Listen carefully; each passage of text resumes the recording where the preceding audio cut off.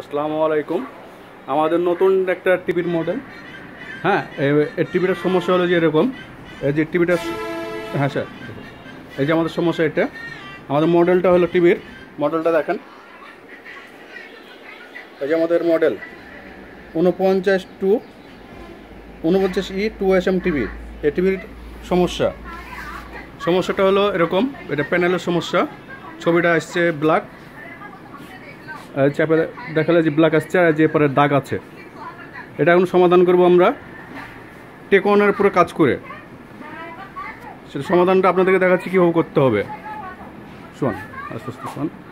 আমরা ব্যাক কভারটা খুলে রেখেছি।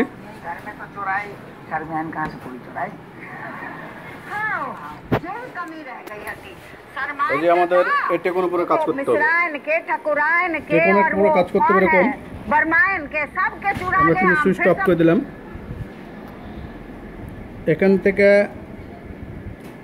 ডান সাইডের টেকোনের যে কানেক্টরটা আছে এই কানেক্টর এরপর মাথা থেকে আমরা ছয়টা পিন বাদ দেব ছয়টা থেকে আমরা বাদ দেওয়ার পরে এখানে ষোলোটা পিন আমরা টেপ করব ছয়টা থেকে ষোলোটা পিন আমরা টেপ করব সেটা কেউ টেপ করব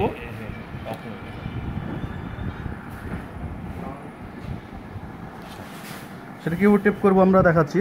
আমরা প্রথমে টেকনটা আমরা ইয়ার কেবলটা খুলে ফেললাম কানেক্টরের কেবলটা দিয়ে আমি সেম কানেক্টর কেবল একটা রেখেছি পাশে কচ করে, বোঝানোর জন্য।